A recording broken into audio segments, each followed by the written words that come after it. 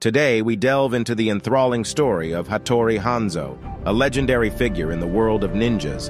Hattori Hanzo, known as one of the greatest ninja warriors in Japanese history, lived during the Sengoku period, a time of intense political turmoil.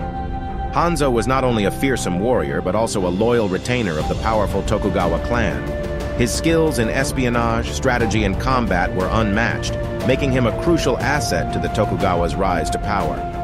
Hanzo's reputation as a master of disguise, stealth, and unconventional warfare spread far and wide, striking fear into the hearts of his enemies.